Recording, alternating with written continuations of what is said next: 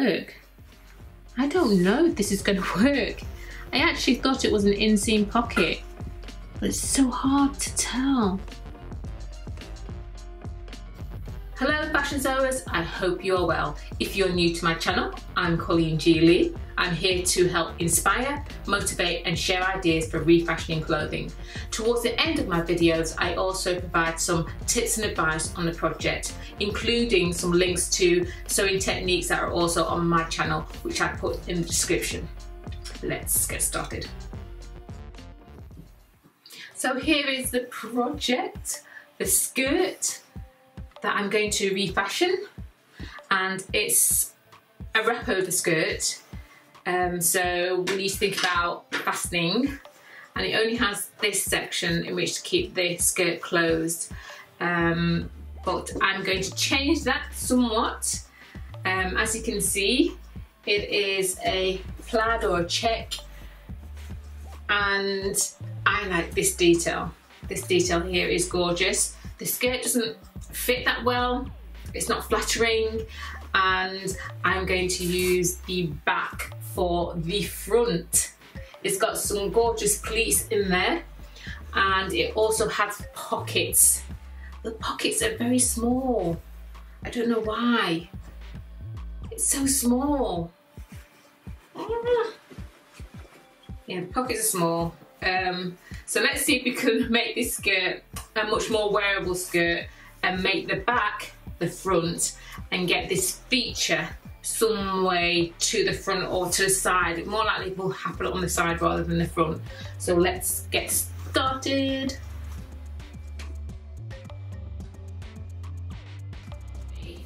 So that's it, it's a wrap over skirt. These are the pocket bags. And I'm just gonna put it around me so you have an idea of how it's supposed to look. What I want to do is to make the back, the front, the pockets are going that way at the moment, so I'm going to put them that way. That should be quite easy. Um, it's just the fastening. Obviously I don't want a back opening like that, so I'm going to have to find a way to to, to, to get into the skirt with with the flap still more or less the wrap over I should say more or less still working but will it's going to require a lot of me trying it on to make sure I'm comfortable. But it's a nice skirt warm back to front. Yes and I do like pleats so the first thing I'm going to do then is just to remove this because this is a nice feature. So I'm going to remove the fastenings. So I'm going to take my time with my seam ripper because I don't want to damage it. And that will take me a little bit of time.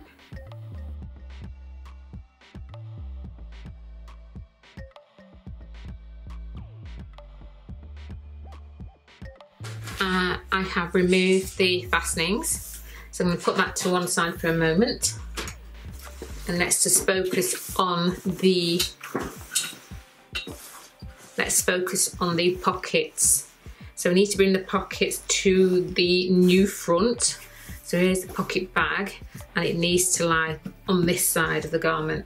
So get my seam ripper and start from the facing.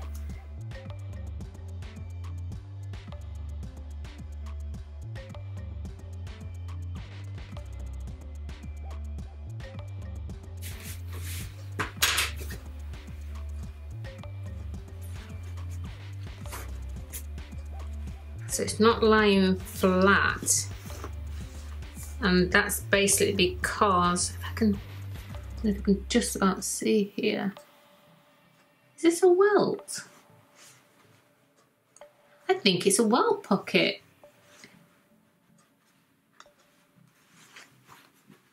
I thought it was an inseam pocket.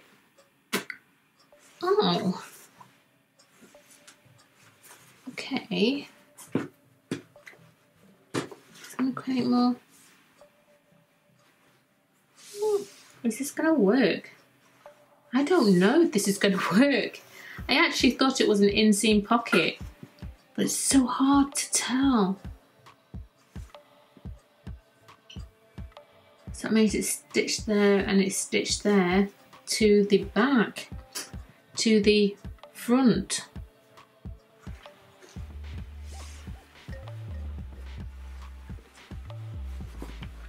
So going to be a bit, yeah, it's going to be a bit awkward. Oh,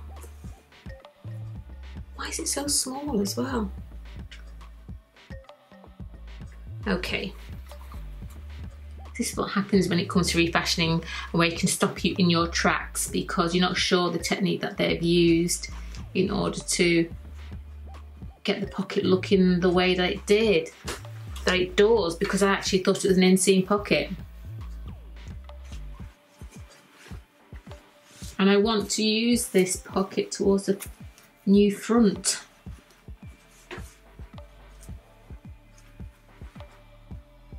It's going to be awkward. Okay. I'm going to try the skirt on and see what the solution is going to be because I definitely want these pockets to the front.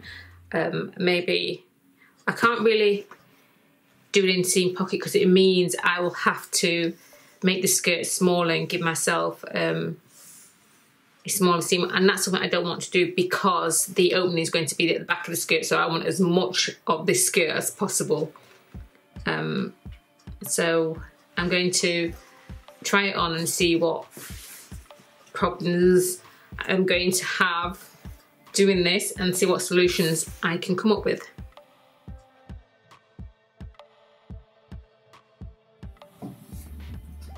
Okay, so this is where the pocket was originally.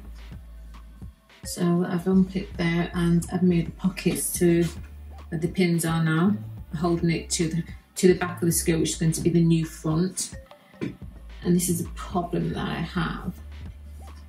It's not that evident, um, but there's a, a slight awkwardness in order to get into the pocket. And plus the pocket is very, the opening is very small. I suppose it's designed to be only fingers and no thumbs, I suppose. Um, but it's a very small opening for the pocket and you can't really tell.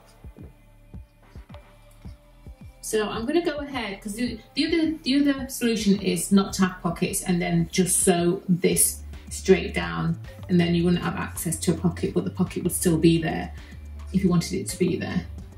Um, but because I want pockets I'm going to see if I can live with this way it is at the moment. I mean, as I work on this skirt, I might come up with a solution to how I can actually get this to be a little bit more black, but it's not bad. It's not bad. So I've had a look at the pocket again and I've decided that I'm going to let it stay as is. I'm not going to interfere with the pocket. I'm just going to put the pocket bag towards the back, which is going to be the new front. So um, because the pocket opening is quite small, I decided that, and because I don't want to lose any from the side seams by cutting it away, which is, could be an option, I decided not to interfere with the pocket, just leave it as is um, sew it in place now, try it on again. It doesn't look too awkward and I'll be able to get some my four fingers in. Whether the pocket was at the front or the back in its original place um, I would only be able to it feels comfortable just putting my fingers in rather, rather than putting my whole hand in which is what I would prefer anyway so. I'll just go with what I have at the moment, which is to, that looks nice being placed like that. So all I need to do is take it to a sewing machine and sew it into place and sew this opening here.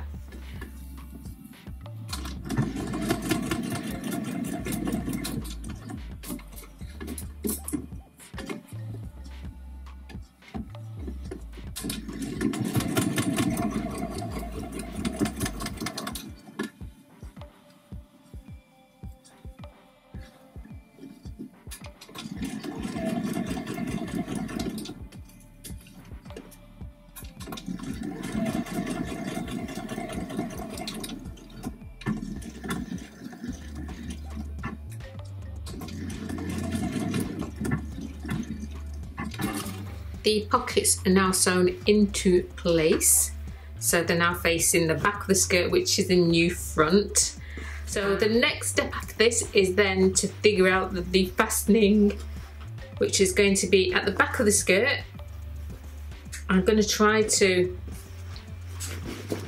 extend it somehow because I do like these but I want them to be towards the front or at least at the side of the skirt. So I need to extend this a little bit.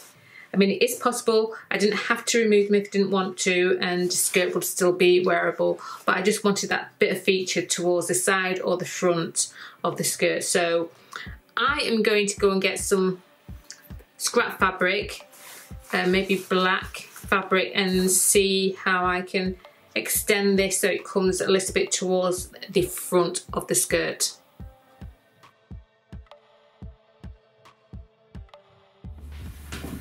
Next stage is then to think about the fastening.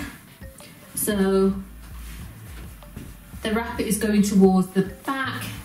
So before I think about how I'm going to feel secure in the back of the wrap, let's figure out the fastening at the top of the skirt at the yoke section. So I found some grey fabric. Um, I decided to go for grey rather than black.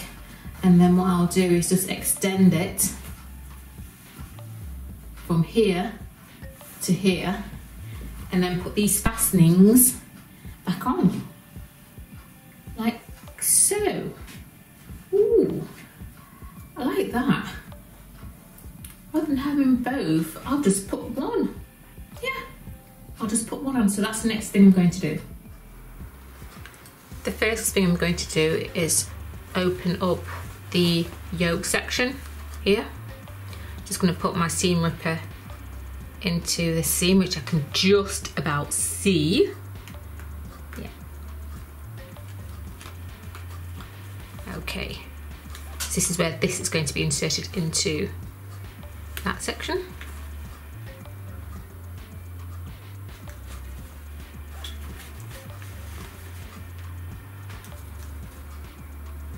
Okay.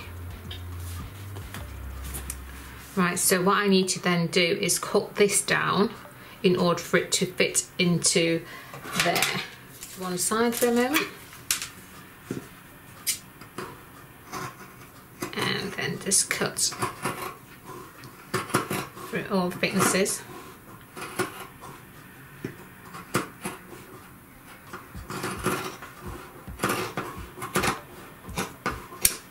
Okay. Oh yes, I'm happy with that shape. That'll fit on like that. Yes, that's brilliant. So all I need to do now is just sew down each side of those. But before I actually sew down the seam, I need to put this into position first. So I put myself, giving myself a seam allowance so I will be able to place this on top like so. Um, I would I would actually interface this. I'm going to interface one side of it and then ready to sew this in position and then I can sew it into the skirt. And so one half of the fastening, placing it on the fold that I pressed. I'm also changed my foot. I decided to go for the my zipper foot because it's a narrower foot and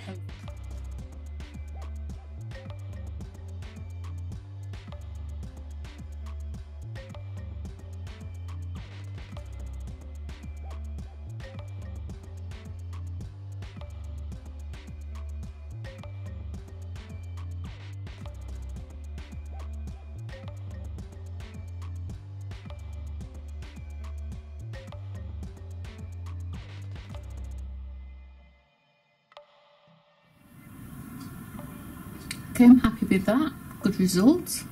Now all I need to do is sew down each side and then pull it through. Okay, sewn it into place. All I need to do is pull it through.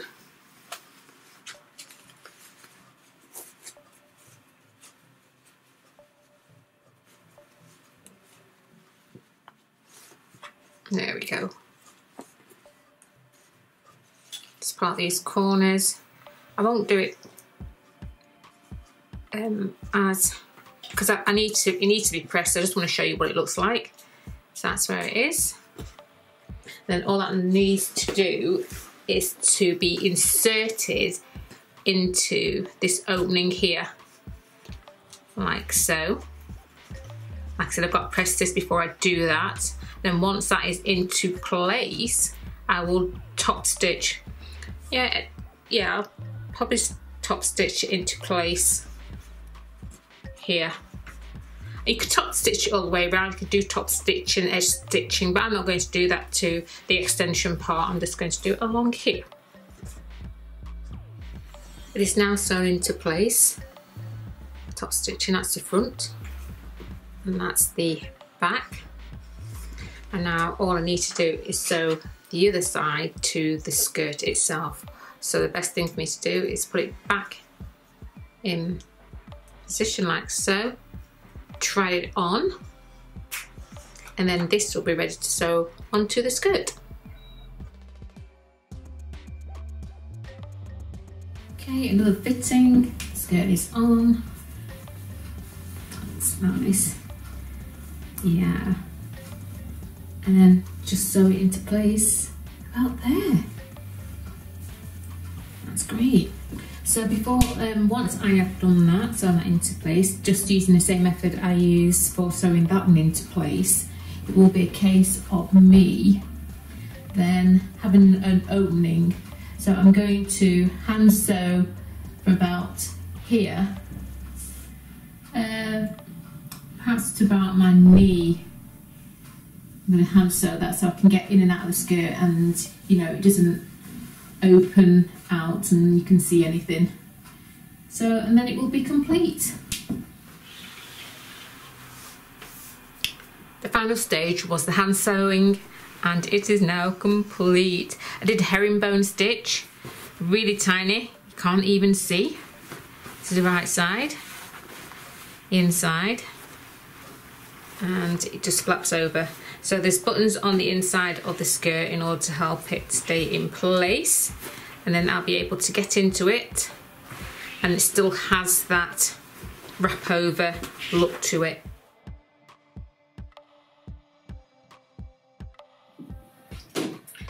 It's so gorgeous now. Really happy. Let me turn around and show you the pockets. There it is. Just get my four fingers in. It's fine. And the feature is so gorgeous. The wrap.